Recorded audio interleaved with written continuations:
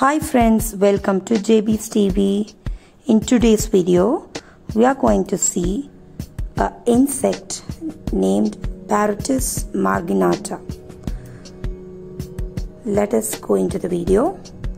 This is Parotis marginata. Parotis marginata is a kind of moth from Crambidae family. It is found in India, Bangladesh, China, Japan, Australia and Queensland. It has brown line around the edges of each wings. This larva feeds on leaves. They live in a shelter created from curled or joined leaves held with silk. Pupation takes place in this shelter. Hope you like this information. Please subscribe, like and share JB's TV. Thank you.